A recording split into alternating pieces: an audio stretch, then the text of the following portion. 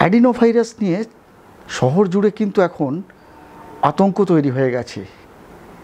চিন্তিত সবাই। অ্যাডিনোভাইরাস কি করোনার থেকেও বেশি ভয়ঙ্কর? আজকে আমরা এইসব নিয়ে আলোচনা করব। আজকে আমাদের সঙ্গে উপস্থিত রয়েছেন কলকাতার শিশুরোগ বিশেষজ্ঞ এবং ইনস্টিটিউট অফ চাইল্ড হেলথের প্রাক্তন ডিরেক্টর ডক্টর অপূর্ব ঘোষ। নমস্কার। আমি ডক্টর অপূর্ব ঘোষ শিশুরোগ বিশেষজ্ঞ কথা বলছি। আজকের বিষয়? করোনার সময় শিশু মৃত্যু সেইভাবে হয়নি। করোনা বয়স্ক লোকেদেরকেই বেশি অ্যাটাক করেছে। শিশুদেরকে সেই তুলনায় ওরা কিছু অ্যাটাক করেনি। মানে আমাদের সবসময় একটা রিসার্চের ইসে ছিল যে শিশুরা কেন প্রোটেক্টেড থাকছে করোনার থেকে। তো এই যে অ্যাডেনো ভাইরাসটা এইটা শিশুদেরকে ধরছে কারণ ওরা ইম্যাচিওর লাংটাকে পছন্দ করছে এবং সেই ইম্যাচিওর লাংসে ওরা ডিস্ট্রাকশন করছে। করোনার থেকেও ভয়ঙ্কর, আর মৃত্যু হারও সেরকম কিছু নয়। আর বড়দের যেমন অনেক কোমরবিডিটিস ছিল কোভিডের সময় ওবেসিটি ডায়াবেটিস হাইপারটেনশন স্মোকিং তো ক্রনিক লাং ডিজিজ কিন্তু বাচ্চাদের তো সেগুলো নেই। তো তা সত্ত্বেও তাদেরকে তাদের লাংসগুলোকে এরা কুড়ে করে খাচ্ছে। তো আবার সবারই যে সমান ড্যামেজ হচ্ছে তাও নয়। কারও কারও হচ্ছে, কারও কারও হচ্ছে না। কারও কারও অল্পের উপর দিয়েই চলে যাচ্ছে। কারও কারও বেশি হচ্ছে। সবারই যে হচ্ছে তা নয়। মানে ড্যামেজ হচ্ছে সংখ্যায় খুবই কম। জিরো টু সিক্স মান্থসটা হচ্ছে বেশি। তো আমি এখনও নিউবর্নে অ্যাডেনোভাইরাস হয়েছে সেটা দেখিনি। বাট সিক্স মান্থসের তলে মেবি টু টু সিক্স মান্থসে আমি বলব মেবি ওদের মায়ের শরীর থেকে একটা ইমিউনিটি পায়, যার জন্য হয়তো নিউবর্ন বেবিতে আমরা এখনও দেখছি না। আর ছ মাসের তলেরগুলোই বেশি সিরিয়াস হচ্ছে বাট দু বছরের তলেও সিরিয়াস হচ্ছে। কিন্তু অতটা বেশি হচ্ছে না যেটা ছ মাসের তলে আমরা দেখছি। আর দু বছরের উপরে হলে ওরা অনেকটা প্রোটেক্টেড থাকছে। দু বছরের তলের বাচ্চা স্পেশালি যারা কেউ যদি ছ মাসের তলে হয়, তাহলে তাদের ভয়টা বেশি। এটা তো এয়ারবর্ন ডিজিজ এটা তো এমনও হতে পারে যে বাবা মায়েরা ক্যারি করছে, কিংবা হাওয়ায় এটা আসছে। একটা তো চান্স হচ্ছে যে বাবা আছে, কিংবা বাচ্চা টু বাচ্চা কন্টামিনেশনও হচ্ছে স্কুল থেকে হচ্ছে। কারণ আমরা সবসময় কি করে বলব যে বাবা মাই আনছে, কারণ স্কুল থেকেও হচ্ছে। স্কুলে একটা বাচ্চার হলে আরেকটা বাচ্চার হয়ে যাচ্ছে। Kindergarten school play school এগুলো বন্ধ করে দেওয়া উচিত এখন। বলছি না যে ওল্ডার চাইল্ডের স্কুলটা বন্ধ করে দিতে, কারণ ওল্ডার চাইল্ডের সেরকম প্রবলেম হচ্ছে না। আর এরকম যখন তখন তো স্কুল বন্ধ করে দেওয়া যায় না ওল্ডার চাইল্ডের কোনো অসুবিধা হচ্ছে না। সুতরাং যারা class four five six nine ten মাধ্যমিক, তাদের স্কুল বন্ধ করার কোনো কারণ আমি দেখতে পাচ্ছি না।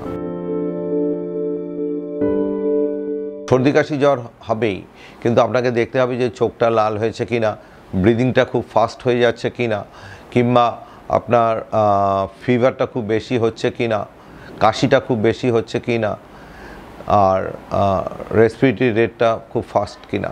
এর আগে তো আমরা অ্যাডেনোভাইরাস ইনফেকশান দেখেছি এবং বেশিরভাগই মাইল্ড কিন্তু একটু প্রলং জ্বর হতো। কিন্তু এতটা সিভিয়ার লাংস শ্বাসকষ্ট এগুলো দেখিনি। তার উপরে একটা ব্যাপার আছে যে, আগে আমরা টেস্ট করতে পারতাম না, এখন আমরা পিসিআর করে টেস্ট করে, সাথে সাথে জানতে পারছি যে, এটা কী টাইপ অফ ভাইরাস তিনটে জিনিস আপনারা দেখবেন fever feeding and fast breathing তাহলেই আপনি বুঝতে পারবেন যে লাংসটা কতটা ভালো কিংবা খারাপ আছে। যদি জ্বর বেশি থাকে কিংবা যদি ফিডিংটা কমে যায় কিংবা ফাস্ট ব্রিদিং হয়, তার সাথে যদি কনজাংটিভাইটিস হয় তখন বুঝতে হবে যে এটা অ্যাডেনো ভাইরাস। আর যদি কারও স্যাচুরেশন দেখা সম্ভব হয়, তারা দেখবে। কিন্তু বড়দের যে পালস অক্সিমিটার, ফিঙ্গার পালস অক্সিমিটারটা, সেটা বাচ্চাদের কিন্তু খুব ভালো কাজ করে না। ওদের আঙুলগুলো ছোট বলে। অ্যাডেনো ভাইরাস একটা ইম্পর্ট্যান্ট কজ ফর ডায়রিয়া। যে কটা ভাইরাল ডায়রিয়া হয়, তার মধ্যে রোটা ভাইরাসের পরেই অ্যাডেনো ভাইরাসের নাম আসবে। লুজ মোশন হলে শুধু ওআরএসের জলটা খাওয়ালেই হবে। তারপরে যদি তাতে ডিহাইড্রেশন কন্ট্রোল না হয়, তখন হয়তো তাকে ইন্টারভেনাস ফ্লুইড দিতে হবে। বাড়ানো যায় না ইমিউনিটি যা যা আছে তাই থাকবে। সুতরাং ইনফেকশন প্রিভেনশনটা ইজ মোস্ট ইম্পর্ট্যান্ট তবে আস্তে আস্তে তো সবাই ইমিউনিটি হয়ে যায়। যেমন করে করোনাতে মানুষ আস্তে আস্তে ইমিউন হয়ে গেছে। কিন্তু সেটা কতদিন লাগবে, সেটা এখনই বলা সম্ভব নয়। তবে সাধারণত আমরা দেখেছি এই ধরনের ভাইরাসের প্রকোপ মাসখানেকের বেশি থাকে না। অ্যাডেনো ভাইরাসের সিক্সটি সেভেন স্ট্রেইন আছে এখন পর্যন্ত। আবার হয়তো সেটা বেড়েও যাবে। তো আপনার একটা স্ট্রেইন ইনফেকশন হলে আরেকটা স্ট্রেইনের এগেনস্টে প্রোটেকশন ইউজুয়ালি দেয় না, কিংবা হয়তো একটু মাইল্ড হতে পারে। বেশিরভাগ ক্ষেত্রেই ভর্তির দরকার পড়ে না।